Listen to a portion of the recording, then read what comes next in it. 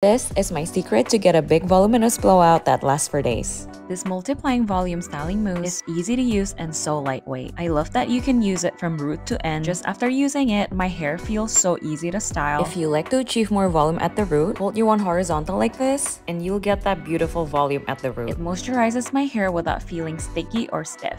I'm not gatekeeping this one because my hair feels so healthy even though I style them a lot. I'm not doing my blowout any other way, so definitely check it out.